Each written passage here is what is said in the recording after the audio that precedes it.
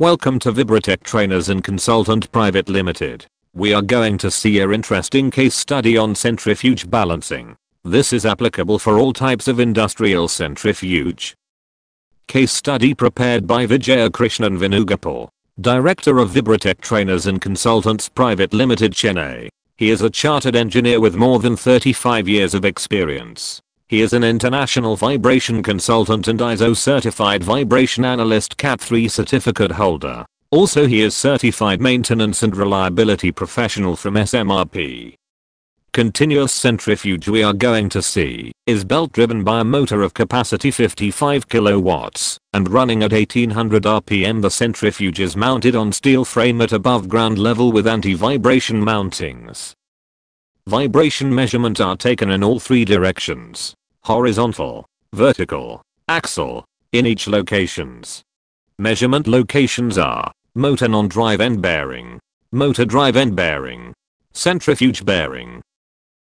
Vibration data are collected in terms of displacement in microns peak to peak and velocity in millimeters per second peak. Now onto the vibration limits. As per ISO standard and with our previous experience, when the velocity falls below 10.0 mm per second peak it's considered as good. When the velocity falls between 10.0 to 25.0 mm per second peak it is considered as fair. And when the velocity falls above 25.0 mm per second peak it is considered to be rough. The vibration values are maximum at motor drive end axial, velocity up to 57.1 mm per second peak with displacement of 600 microns peak to peak. And at centrifuge drive end horizontal, velocity up to 52.9 mm per second peak with displacement of 490 microns peak to peak. And the equipment falls under rough category. On going through the spectrum and frequencies at centrifuge, shows dominant peak frequencies is in 1 times the running RPM. Unbalance in the centrifuge rotor indicated. Insufficient rigidity and area contact at fixing locations.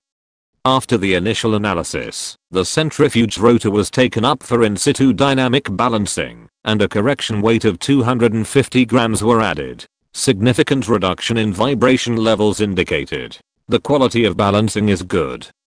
After the balancing vibration data are collected, the vibration values are maximum at motor non-drive end horizontal, velocity up to 21.4 mm per second peak with displacement of 250 microns peak to peak.